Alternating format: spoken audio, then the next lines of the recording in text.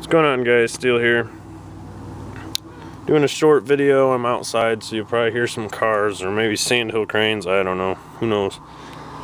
Anyway, after reading some posts on Blade Forums from Ankerson about finishing your edge on lower grits, I started messing around with a little.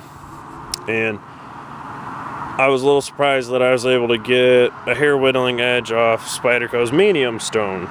Because I, when I first started sharpening, wouldn't have thought that possible.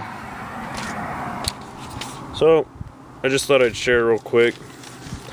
And you can get a scary sharp edge. That's pretty much what I'm just showing you guys. This edge is just as scary to me as some of my really high polished edges.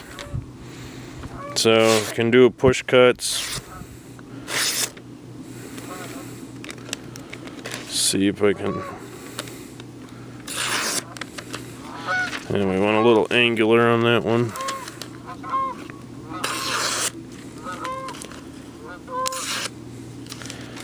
And I can cut both ways too. So, yep, if anybody wants to see a hair whittling edge off the medium stone, I mean, I can even sharpen it right in front of you guys and show you. It's pretty cool. Here's this test. I don't know if you guys have seen it before. Fold the paper over.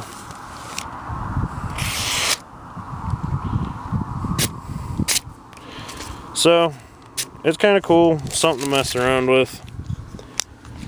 That's pretty much it, guys. I know it doesn't seem like everybody enjoys the sharpening videos and stuff, so um, it doesn't bother me for those of you who watch. Hopefully you enjoy it. And thanks for watching, guys. Thanks for continued support and see you in the next video.